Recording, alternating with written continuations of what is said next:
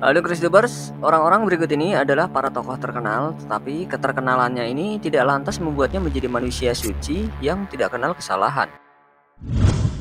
Genghis Khan berhasil membangun imperium besar dan luas yang membentang dimulai dari timur Cina, Persia, dan Eropa Timur di barat, Rusia di utara, dan juga India di selatan. Namun, pada tahun 1258 Masehi, pasukan Mongol menyerbu dan menghancurkan kekhalifahan Islam Bani Abbasiyah di Baghdad. Mereka memporak-porandakan Baghdad, khalifah dan penduduk ditangkap, rumah-rumah dibakar. Tak sampai di situ, mereka juga menghancurkan perpustakaan yang syarat dengan manuskrip berharga.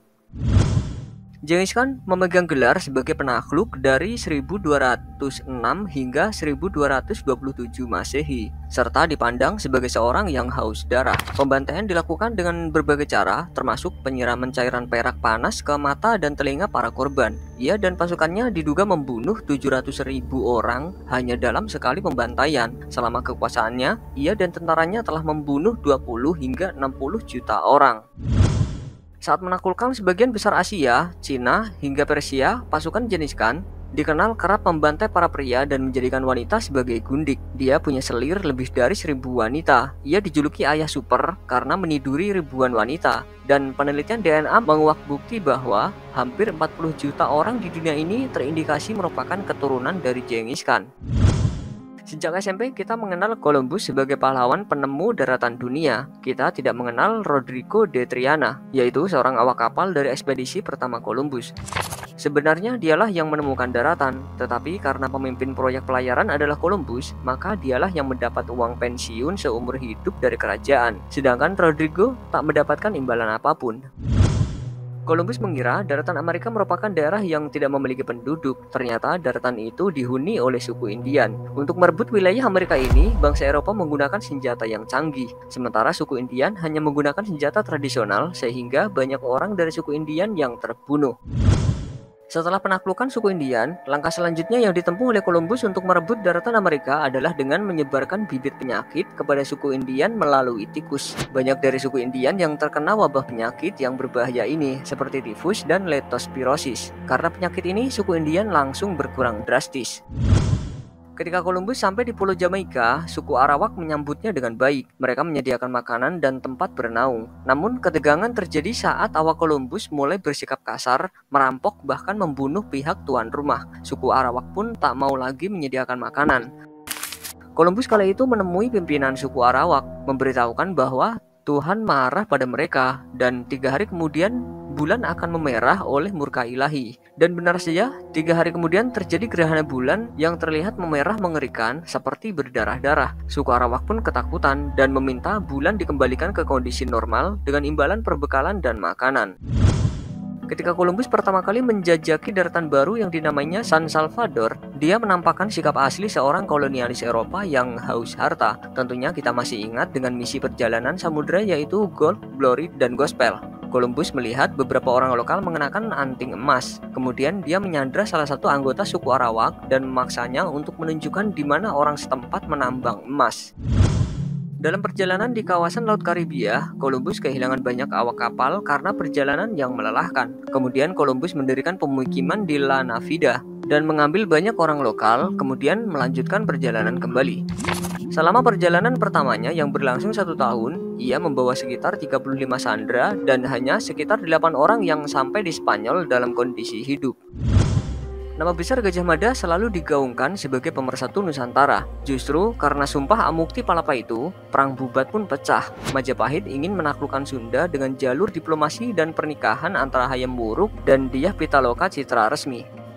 Demi menjaga nama besar kerajaan Majapahit, pihak Sunda mengalah untuk melangsungkan pernikahan di Majapahit. Namun Gajah Mada mengambil keputusan sepihak dengan menyatakan bahwa Diah Pitaloka Citra Resmi hanya sebagai upeti dari kerajaan Sunda untuk Majapahit.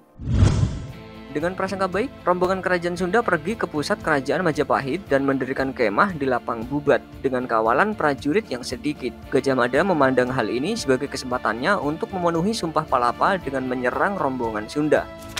Ketika itu Hayam Muruk menolak, namun atas perintah Gajah Mada, pasukan Bayangkara dalam jumlah besar menyerang rombongan dan hanya menyisakan Diah Pitaloka Citra Resmi yang akhirnya dia juga memutuskan untuk mengakhiri nyawanya sendiri dengan menancapkan tusuk konde tepat di jantungnya. Tuanku Imam Bonjol adalah seorang ulama dan pemimpin perang Padri dalam melawan Belanda. Namun, sebelum berperang melawan pasukan Hindia Belanda itu, kaum Padri ingin membersihkan dan memurnikan ajaran Islam yang cukup banyak diselewengkan oleh masyarakat adat.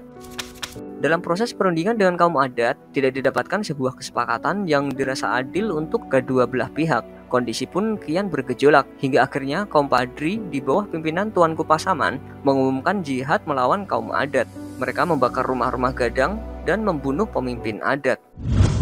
Dulunya, Ray Kroc hanyalah sales mesin pembuat milkshake McDonald milik Dick dan Mac. Secara diam-diam, Ray Kroc membuat perusahaan real estate Franchise Realty Corporation. Ia membeli lahan kosong untuk membangun restoran McDonald yang ikonik dengan lambang melengkung, lalu menyewakan tempat tersebut kepada para investor. Gerai McDonald pun semakin tersebar dan McDonald bersaudara akhirnya mengetahui hal tersebut dan merasa dicurangi. Meski keduanya tidak bisa berbuat banyak karena hal itu tidak melanggar kesepakatan.